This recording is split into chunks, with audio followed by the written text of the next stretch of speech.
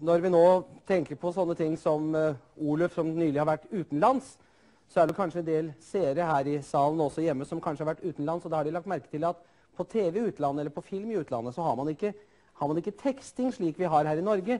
Det man gjør, er at man legger på stemmene med landets egne stemmer på filmen, slik at man kan se en, en president Carter plutselig snakke fransk, eller eller en cowboy kommer løpende inn i Tokyo og sier Det blir jo litt merkelig, så vi tenkte at vi kunne prøve noe lignende her i Norge. Og vi fikk låne en liten uh, filmbit fra Columbia Warner med en del kjente amerikanske filmskuespillere. Og så snakket vi da med vår uh, meget dyktige Rolf Just Nilsen og ba ham legge på norske stemmer. Men for at vi skal vite litt om hva filmen dreier seg om, så tror jeg vi skal få en liten innledning først. En av vårens skandosiøse storfilmer er den amerikanske 'Mord med døden til følge'. Og nå på vårparten kunne det jo smake med litt mord. Her er den dyktige filmskaperen John Dong Federico Kurt Asmaralda lagt handlingen til et avsidesliggende slott like i Surbridge utenfor Canada. Intrigen er enkel, men uhyre komplisert. Her får vi presentert noen av de mest kjente av detektivene innenfor kriminallitteraturens historie. Verten på Slottet er den eksentriske og eksotiske krimolog og fugleelsker viskont til Larsen Laringitt. Og på slaget tolv om natten har de alle fått vite at en av dem kommer til å bli myrdet. Og moro blir det. Ja, for sjelden har vi sett at mord er blitt skildret så humoristisk, men likevel morsomt.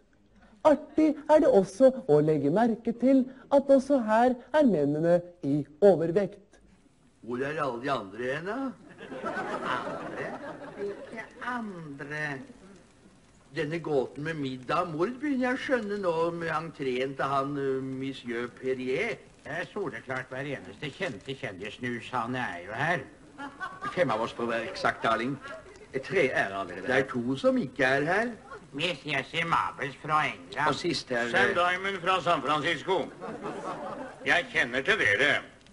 Dama er i blodrød kjole er min sekretær og elskerinne Miss Tess Scaffington. Ja, Sam, kutt ut, da. Og beklager, Snuppa.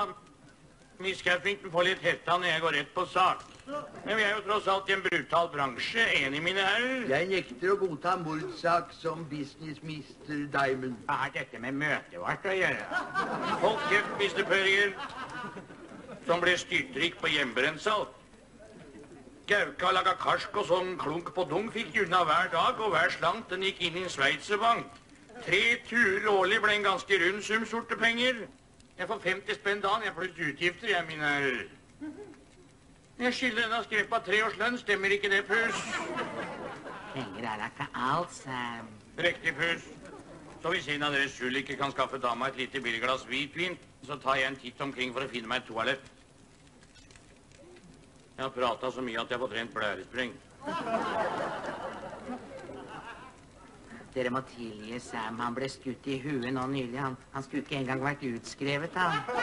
Jeg for min del syns mannen er glitrende ærlig. Ikke da. Miss Jessica Mabels oppleierske.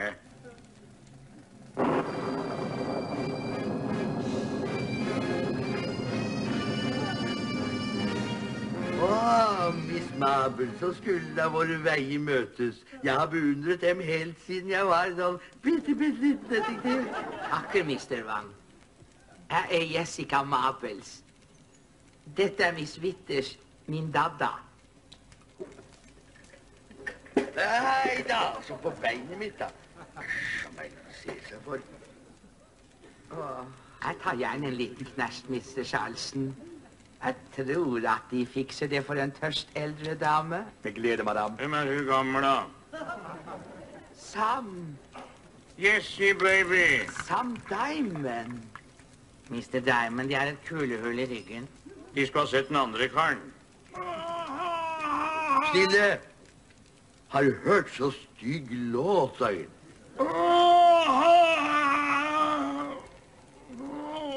Ekstase igjen. Nå begynner han på'n igjen. Naturligvis, han opplever det store en gang til. Men hvorfor det? Det er statens filmkontroll. Det er sensurert.